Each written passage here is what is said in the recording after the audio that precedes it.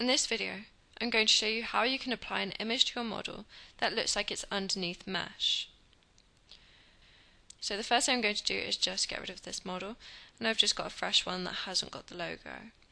Okay, so I'm going to select the piece that I want to apply the logo to. I'm then going to go to View,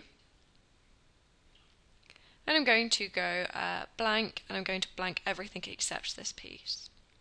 Okay, so I'm now going to select on this piece and I'm going to rotate it around just so I can see the inside. I'm then going to make sure the inside is turned on, so the inside material there. I'm then going to go to the wrap toolbar, I'm going to go to open and I'm going to open up uh, just a simple PNG image. So I can now uh, position the image and I can scale it and this is just using the left mouse button.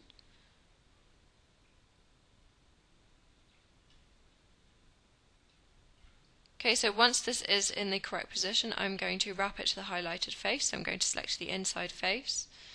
I'm now going to close the wrap toolbar. I'm going to rotate back round to the front, so to the outside view.